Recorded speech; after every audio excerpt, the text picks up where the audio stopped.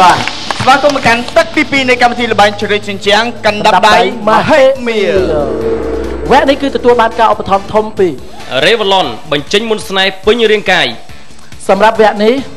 គឺត្រូវឡើងទៅទាំង3នាក់ទាំងក្រុមតែម្ដងបន្ទុកគឺ20បន្ទុកជញ្ជាំងរបស់យើងគឺមានឈ្មោះថាជញ្ជាំងប្រាជ្ញា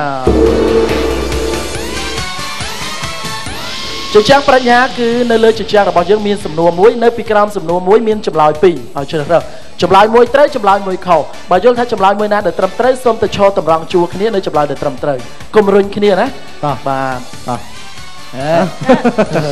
ឥឡូវអ្នកអ្នកណាទៅមុនបាទហមខៀវក្រហមក្រហមហោមួយមើលទៅដូចជាត្រូវការឡើងមុនទេណាត្រៀមហើយបាទ បាទសូមទៅកាន់ទីតាំងបាទ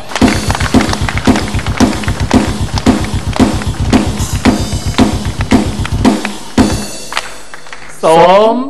បង្ហាញជញ្ជាំង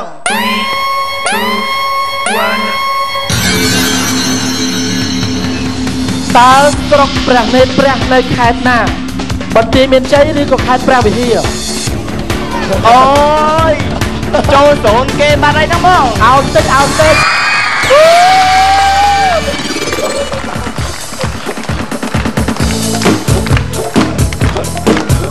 ក៏ទៅទៅ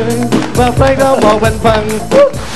សំណួរតើស្រុកព្រះនេត្រព្រះ នៅខេត្តណាចំឡោយបន្ទាយមានជ័យឬក៏ព្រះវិហារ អាយ៉ាវិញ្ញាសានេះគឺគួរឲ្យចាប់អារម្មណ៍មែនណាអើយអឺអ្នកទាំង3អីក៏សហការគ្នាស្អិតល្មួតម៉េះអើយញែកបន្តិចទៅអីអញ្ចឹងចម្លើយដែលត្រឹមត្រូវគឺខេត្តបន្ទាយមានជ័យគឺមានស្រុកព្រះនេត្រព្រះអឺលោករតនពិសិដ្ឋនេះដឹកនាំក្រុមបានល្អមែនអឺសិតតែស្រីស្អាតត្មង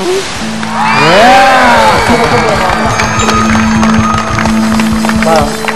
អញ្ចឹងមិនសូវសាងទេព្រោះសិតតែអ្នកច្បាស់ហើយ សូមជូនបន្ទុកពេញតែម្ដងមក20បន្ទុកទៀតបាទអត់មានលើកទឹកចិត្តទេបងហ៎អត់មានលើកទឹកចិត្តទេបាទពេលក្រុមខៀវវិញបាទអឺបើមិនម៉ាយជួយបកប្រែសំនួរឲ្យលោកថមផងឲ្យគាត់ខ្ញុំពងអន់ចិត្តដែរហ្នឹងព្រោះថាអឺដាក់អឺក្រុមរបស់ខ្ញុំសើអឺ ជនជាតិជុំខ្ញុំប្រើប្រើប្រើភាសាអង់គ្លេសអញ្ចឹងណាហ្នឹងហើយបកប្រែហេមកខាងនេះហេមកខាងនេះបាទនិយាយគ្នាខាងនេះអេជួនកាលសំណួរអាចជាចំណេះដឹងទូទៅលើពិភពលោកគាត់អាចច្បាស់វិញណាចៃដន្យឲ្យសួរចាការតានៅណាបាទចំផ្ទះគាត់បដ ாய் អញ្ចឹងក៏អាចថាបានដែរត្រៀមហើយអ្នកទាំង3 ready ready Ready. okay Yeah. go to the play area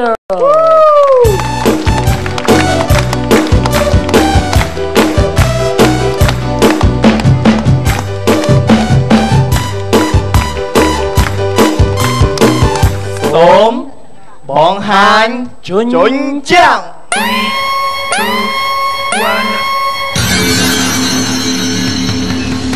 តើអាងកំពីងពួយស្ថិតនៅក្នុងខេត្តណា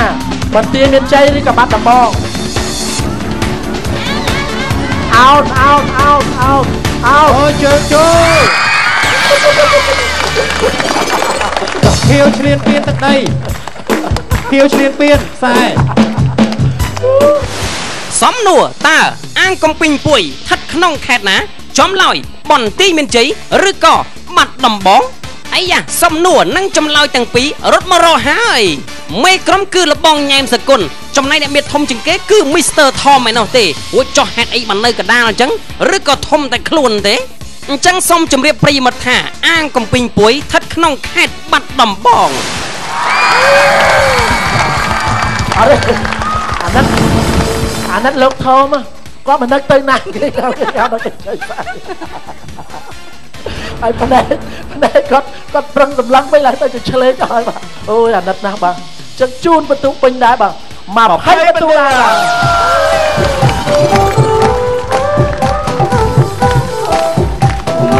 25អី25អី25បាន ដល់ទឹកទី2ហើយបន្ទុកខៀវនិងក្រហម គឺប្រគិបកិតគ្នានៅឡើយទេ គឺ25ទល់ឈ្នះខាងក្រហមតែ5បន្ទុកទេយើងមិនដឹងថានៅវគ្គក្រោយភាពប្រែប្រួលនៃបន្ទុកក្រុមទាំងពីរនឹងទៅជាយ៉ាងណាទេអញ្ចឹងសូមបងប្អូនអរគ្នាកំសាន្តប្រពន្ធនាជួបគ្នានៅវគ្គក្រោយជាបន្ត